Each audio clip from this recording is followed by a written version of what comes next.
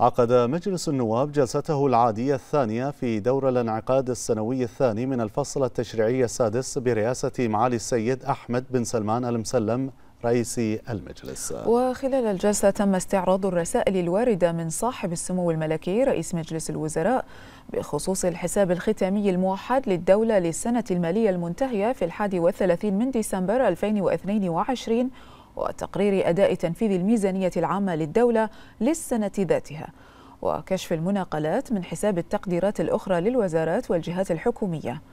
وخلال الجلسة قرر المجلس الموافقة على تشكيل لجنة إعداد مشروع الرد على الخطاب الملكي السامي كما قرر المجلس الموافقة على تسمية ممثلي مجلس النواب لعضوية اللجنة التنفيذية للشعبة البرلمانية واعتماد قوائم عضوية لجان المجلس.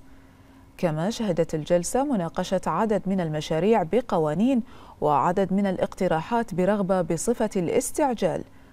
وفي بند ما يستجد من أعمال قرر المجلس الموافقة على طلب إصدار بيان بمناسبة يوم المعلم العالمي. طبعا اليوم وصلتنا ردود الحكومة عن المقترحات اللي تم تقديمها في الدور الماضي واللي هي يعني كان أغلبها في تثبيت البحرينيين أو بحرنة الوظائف بشكل أكبر أو بنسبة أعلى في القطاع الحكومي والهيئات الحكومية.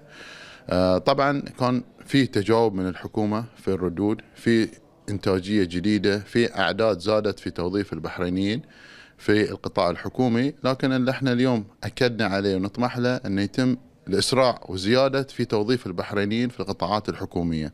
وكذلك أكدنا على إن يجب أن يكون هناك امتيازات إضافية تدعمها الحكومة في القطاع الخاص عشان يكون هناك تحفيز للموظفين والمواطنين أنهم يلتحقون بالقطاع الخاص.